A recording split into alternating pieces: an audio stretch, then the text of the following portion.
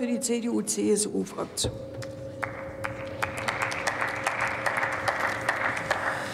Frau Präsidentin, meine sehr verehrten Damen und Herren, liebe Kolleginnen und Kollegen!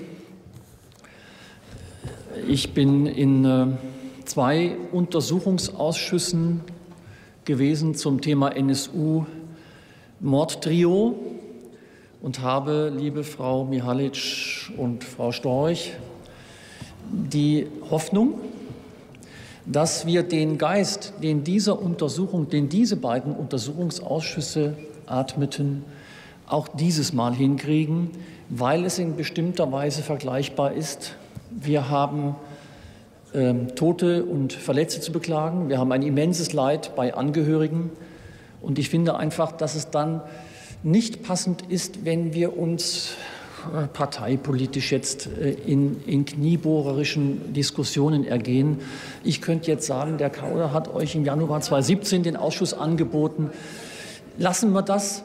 Ich glaube, dieser Untersuchungsausschuss hat die Notwendigkeit, Sachaufklärung zu betreiben, Frau von Storch.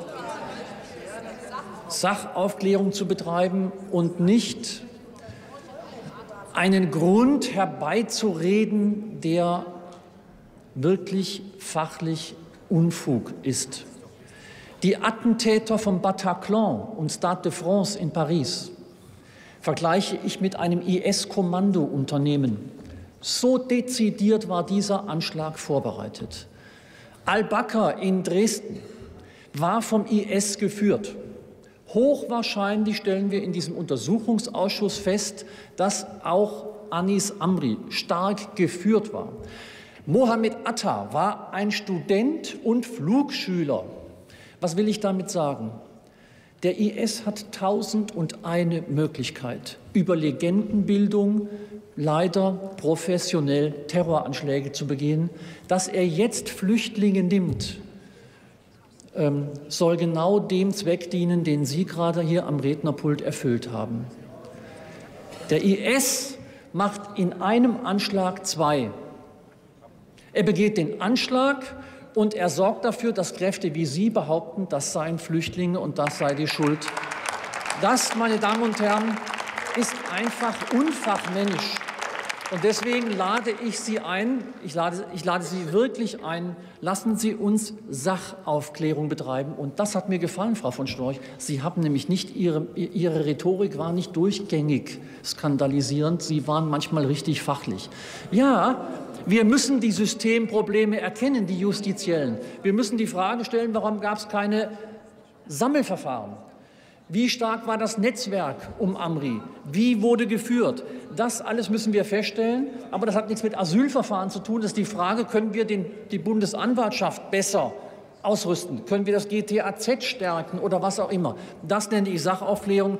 Und dieser Untersuchungsausschuss hat eine ganz entscheidende Frage zu klären. Stellen wir uns mal vor, alle individuellen Einzelfehler die Herr Joost in Berlin, die der Untersuchungsausschuss in NRW, die die Taskforce im PKGR schon aufgeklärt haben. Stellen wir uns vor, diese individuellen Einzelfehler wären nicht vorgekommen. Hätte dann eigentlich das System funktionieren können, einer föderalen Sicherheitsarchitektur, in der knapp 40 Behörden für diesen Fall zuständig waren? Diese Frage müssen wir im Bund klären, die kann niemand anders klären.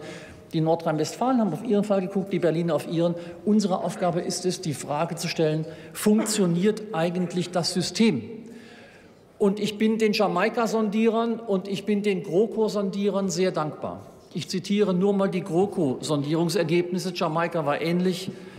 Da steht drin, wir müssen wissen, ob für Terrorgefährder gemeinsame Standards, verbindlicher Umgang, einheitliche Praxis und klare Zuständigkeiten geschaffen werden müssen.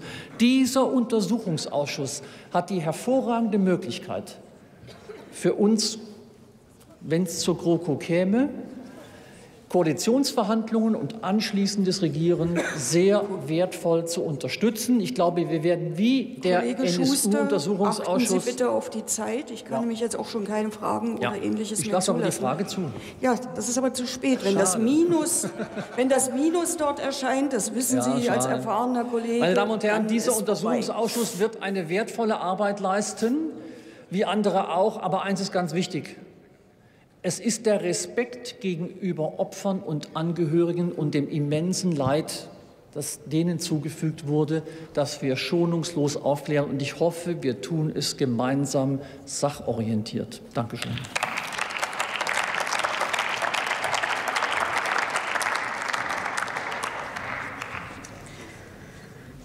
Zu Ihrer ersten Rede im Bundestag hat die